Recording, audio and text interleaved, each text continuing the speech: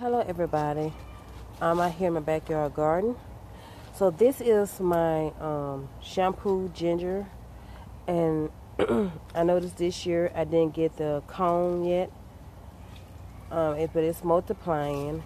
So hopefully next year I will get the shampoo. I will get the cones that come with this.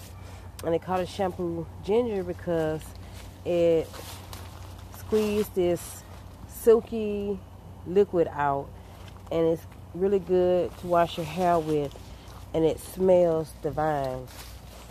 Um, I had it before I moved here, um, but transplanted I didn't get it um, last year. I didn't get it this year, so hopefully I get it next year. Can't wait.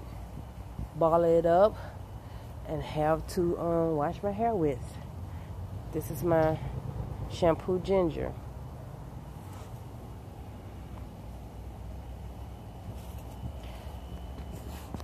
So here's my star fruit tree, y'all, with the star fruits on it.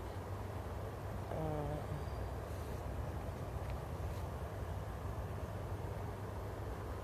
also, I notice here, look at this. It wants to put on more. See that?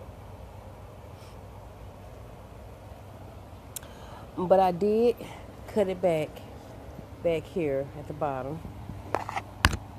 Right here these two. And I put in the ground to sprout some more. Just more flowers. So the second run of fruits it put on a lot more. I'm excited to see how many I will really get off this plant because it actually drop some of the fruits if you don't need it. Okay, here's my other ginger. Um, this was given to me. I don't know quite if this is edible or not. Maybe somebody could tell me. But these are the gorgeous, uh, the gorgeous flowers that it put on. See that? Beautiful flowers. But I do know the ginger I'm growing over here are edible. Right here, and I will harvest a little small piece to do some in my jams, my plums, give that little extra kick. So, you know, I kind of do a little research on my turmeric. So when it's starting turning this color, I can go ahead and start harvesting some. Um, let's see together how big is this turmeric is down here. Definitely gotta be careful. I got um blackberry vines see growing over here. But it's actually shooting up another sprout. Uh, excuse me, I got a little cold. And it's down up in here. Ooh. I feel it. Let's see. Come on, hands. I think I probably broke it off. So it's it have not really put out turmeric. It just I guess next year do a lot better. Um, it is a little cutting from um, a plant I just stuck in here and just see what's gonna happen. So I can't wait till this multiply and get bigger. But I do have one over here that's pretty big. And I know it'd be ready to harvest just before it get cold. And I want to um, take it in and dry it out and make some turmeric powder to cook with. This one right here, it's definitely gonna be ready. Look how big this one is.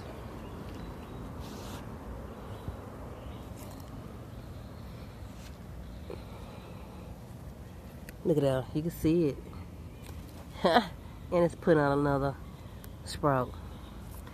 So is gonna be a pretty nice size turmeric. So I only get I only have one two loaf loofahs. So I just went on a dry to use that sponge to base with. It's cool. That's all I want to talk to you all about.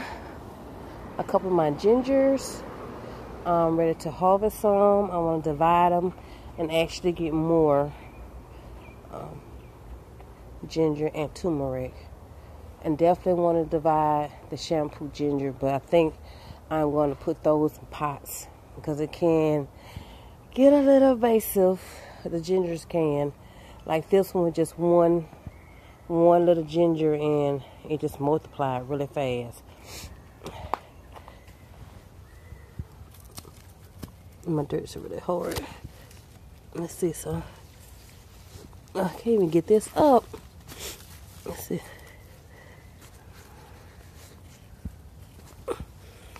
Yeah, wait a minute. It's down in there.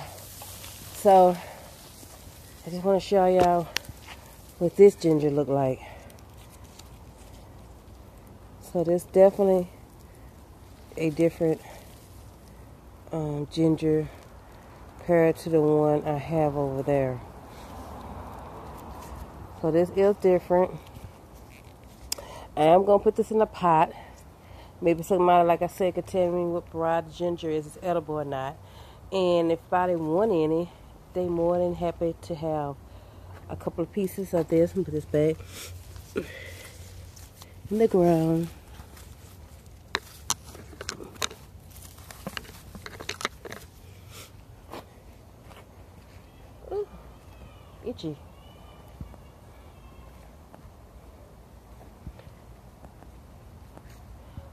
I'm going to also dig up my ground apple. That's these right here. And do some cuttings from this because uh, these are from cuttings. And like I cut a piece off here and here and it's sticking in the ground. Actually, it grows back for me really well. No problem whatsoever.